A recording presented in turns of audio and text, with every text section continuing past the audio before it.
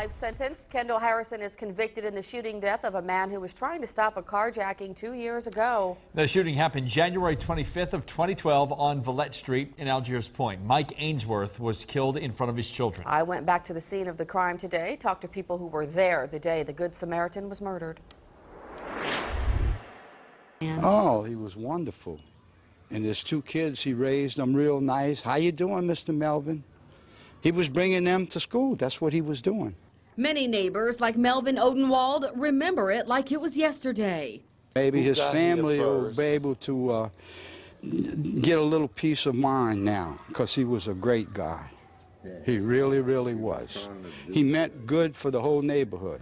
A jury of six men and six women deliberated for more than six hours. They found 20-year-old Kendall Harrison of Harvey guilty of second-degree murder and armed robbery. The verdict came down at 3:10 a.m. Tuesday. We glad that they got the one that did it, you know.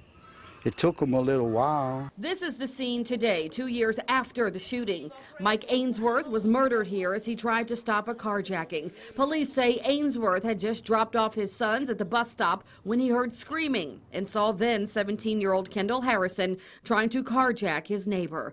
Ainsworth jumped on the hood of the van to stop the crime. That's when he was shot through the windshield, all in front of his children and many neighbors. It was a very sad day.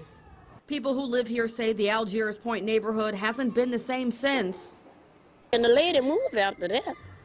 The lady that happened, she was living out. I think she moved, and the, and the guy that they killed, his wife moved. Ainsworth was known as the neighborhood do-gooder, a volunteer and aspiring police officer. While neighbors are finding comfort in Harrison's conviction, it's a day they say they won't soon forget.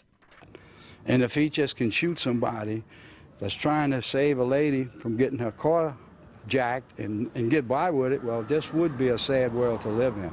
I'm glad that justice was served. And so again, Harrison could face life in prison.